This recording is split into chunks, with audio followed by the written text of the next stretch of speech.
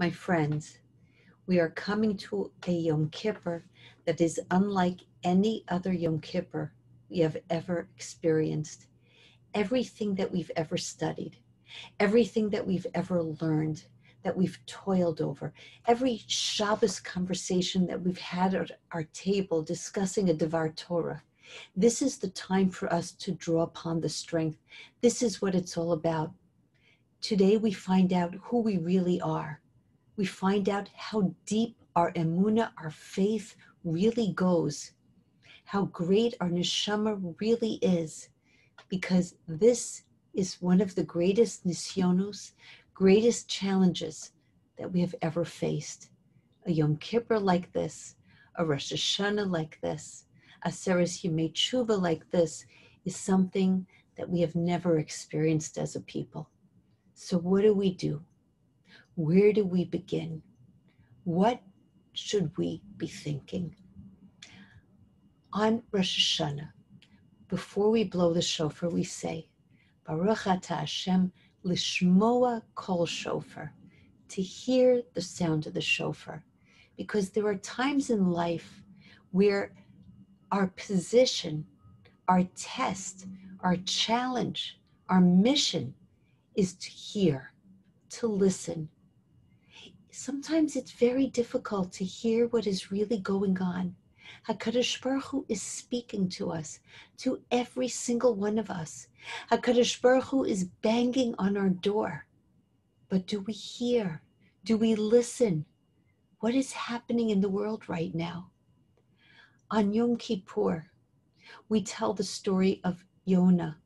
Yonah thought that he could run away and escape his mission in this world. He boarded a boat to go to Tarshish. And then came this huge storm. The boat is being tossed through the waves. The storm is going to break the boat. This boat is like a little toy, a little toy in a bathtub. It's going up, it's going down, it's about to shatter. Everyone on the boat is terrified. The sailors start to scream out to their gods. No avail. Nothing helps them. They start throwing things overboard chairs, dressers, beds. Maybe this is going to help. Nothing. Nothing's helping. The boat is being tossed and turned. It's about to shatter. Everyone's about to lose their life. So the captain, he's looking for Yonah. There's one person missing. Where is he? And he finds Yonah sleeping. Malacha Nirdam, he says to Yonah, Are you kidding me? Are you kidding me? How could you be sleeping right now? What are you thinking? The world around you is exploding and you're sleeping? This question, Malacha Nirdam, becomes the question that you and I must ask ourselves today before we enter Yom Kippur. Malacha Nirdam, how could you be sleeping? The world is in chaos.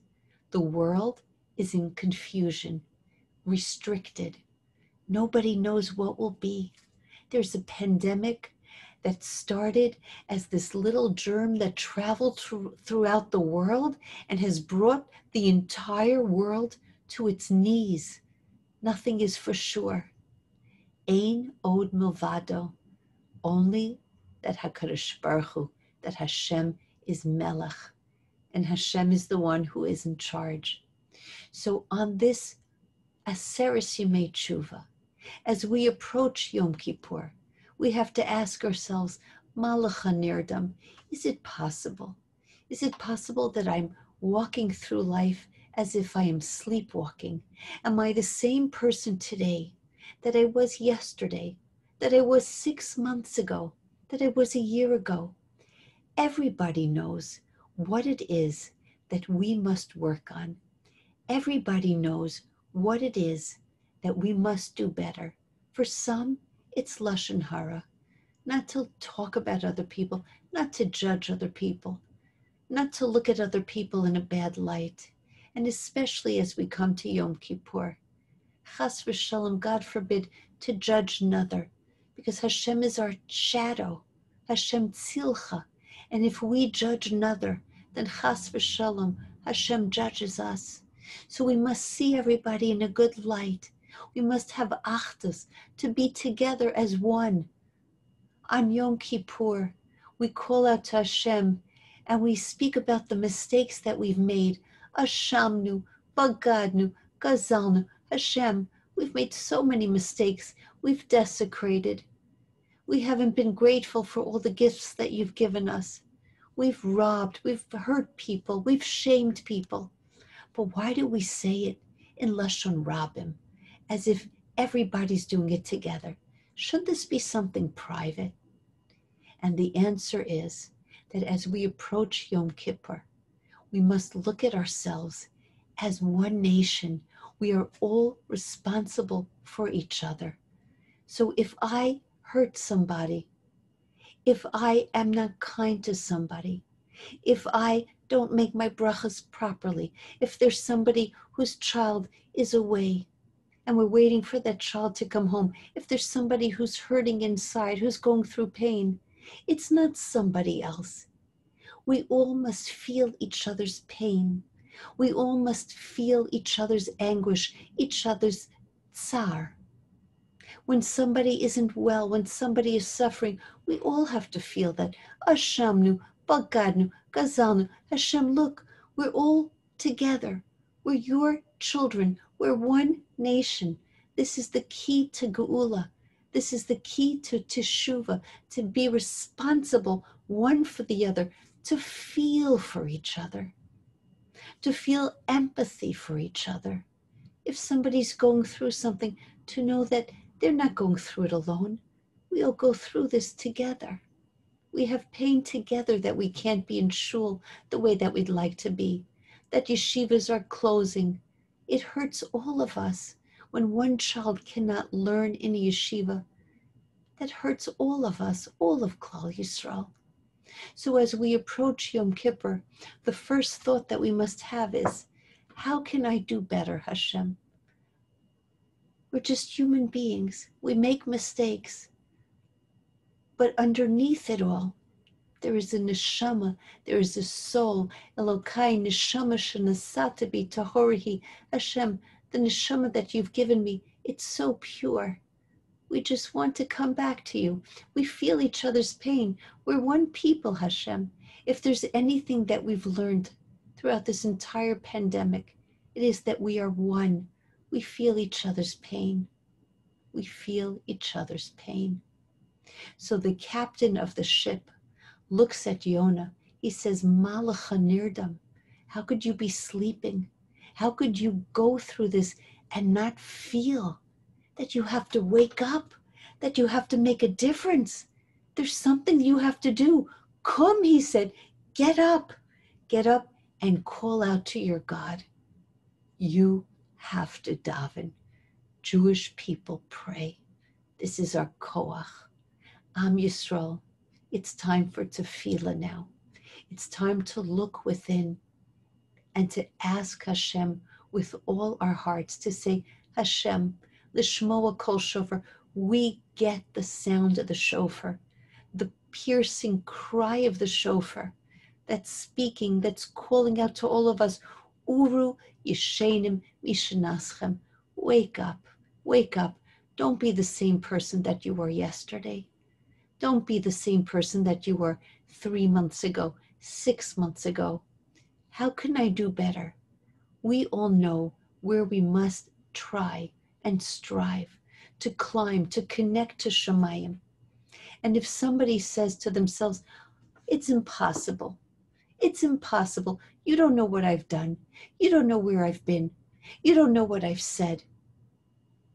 So, what do we say to that, that person, that neshama? When HaKadosh Baruch Hu gave us the luchos, the Torah describes that the luchos were heavy, that the luchos were made of stone, and the letters of the luchos were inscribed, suspended in midair it's impossible. But it's possible. It's impossible, but at the same time, it's possible. The Torah is telling us that just as the luchos were carried by Moshe Rabbeinu. And when you looked at the luchos, you thought, wow, this is impossible. How can this be? But it was possible because this is how HaKadosh Baruch Hu sees Am Yisrael, sees each and every one of us. According to nature, when you make a mistake, when you do something wrong, it's impossible to fix it. A paper is torn, is shredded, something beautiful is stained, you can't restore it. But that's nature. We are Am Yisrael. The impossible is possible. Just as the luchos were suspended beyond belief, this was allowed to happen so that we can understand. The luchos were made in such a way to give us hope for ourselves. There is nothing that is impossible for Am Yisrael. We have traveled through the four corners of this world.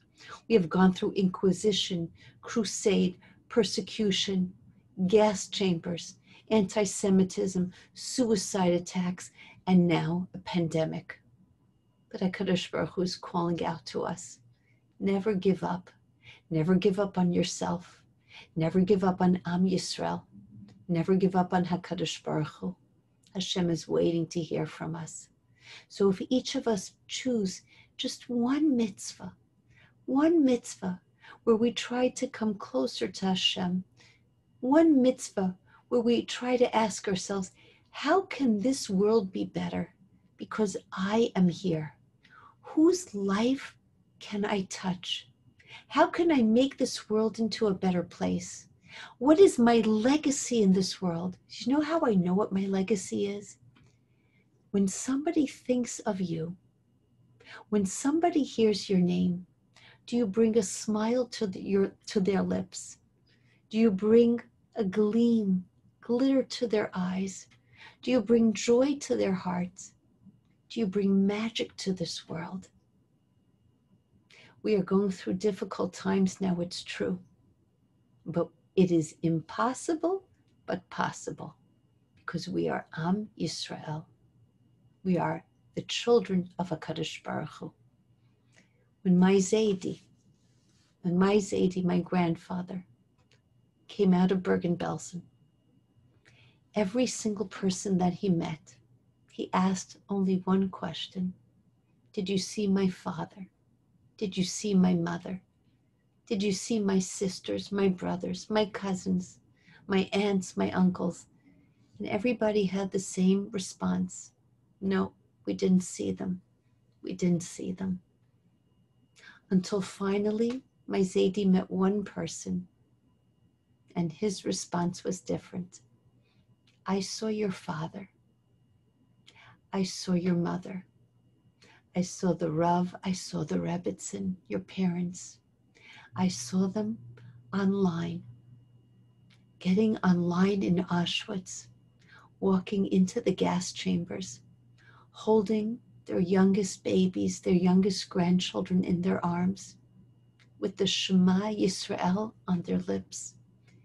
You are the last survivor of your mishpacha, of your family. There's nobody else left. My Zaidi gave out an anguished cry, and he said, Ribono Shel Olam, Master of this world, I have only one request of you that all of my children and all of my grandchildren and all the children of Klal Yisrael remain loyal to you, study Torah all the rest of their lives, and never lose their emuna. And so, as we enter this Yom Kippur, this is my tefillah, this is your tefillah, this is our tefillah. Hakadosh Baruch Hu, no matter what we are going through, no matter how difficult this test is, no matter how life has gone beyond anything that we've ever imagined. We have just this one request. Help us, Hashem. Give us your slicha. Give us your mechila. Help us raise the next generation of Klal Yisrael. Help us raise ourselves so that we can connect to you and we can finally hear the shofar of Mashiach, a good gebencht Shana Tova Umesuka.